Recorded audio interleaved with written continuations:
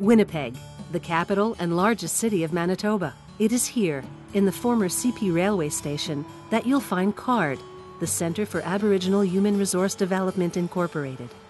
CAHRD is a community driven, non profit organization serving Winnipeg's rapidly growing Aboriginal population.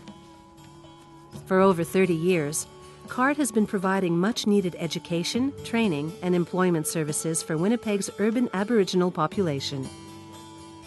Our mandate is to get Aboriginal people employed, and we do that through working with government, working with industry, and working with our community.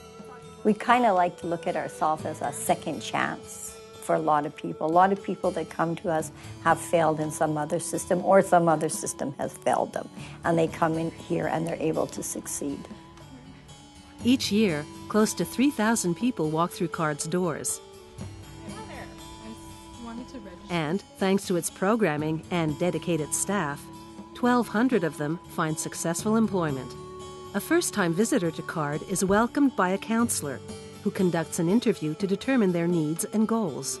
The next step is an orientation session where they will learn about the many programs and services offered by CAHRD. Those interested in education or training write the Canadian Adult Achievement Test to determine their placement level. For those with little previous education, CAHRD's Aboriginal Community Campus provides literacy and upgrading programs, as well as an academic program for mature students to earn a grade 12 diploma. Niiganan Institute of Applied Technology is the post secondary training arm of CAHRD and offers a variety of programs in vocations like welding, where skilled workers are in high demand. Being here at Niiganan is the best opportunity I've ever come across. It's changed my life in so many ways. It's nothing but good. Some of the other interesting career training programs at Niiganan Institute include the Medical Lab Technician and Clinical Research Assistant Program. This program prepares graduates for careers in hospitals and medical laboratories. And Carpentry. This 10 month program covers all course material received by a first year apprentice carpenter. And the Early Childhood Education Program that combines in class theory with practical experience in a number of childcare institutions. Niiganan Institute offers a wide variety of hands on courses in an effort to help members of Winnipeg's Aboriginal community find employment and also to meet current labor market needs. It's a win win situation for everyone.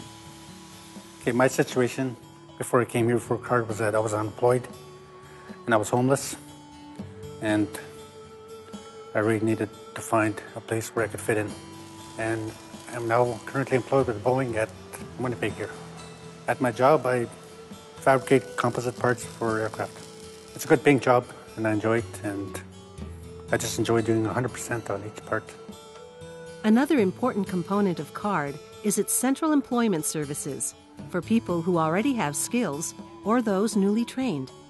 Clients have access to human resource counselors, as well as computers, phones, and job posting boards. Here they can learn everything from resume writing to interview techniques. The programming at CAHRD extends beyond its campus, with community based and institutional partnerships throughout Winnipeg. They have job creation partnerships, wage subsidy programs, on the job skills development, job fairs, and an Aboriginal People with Disabilities program.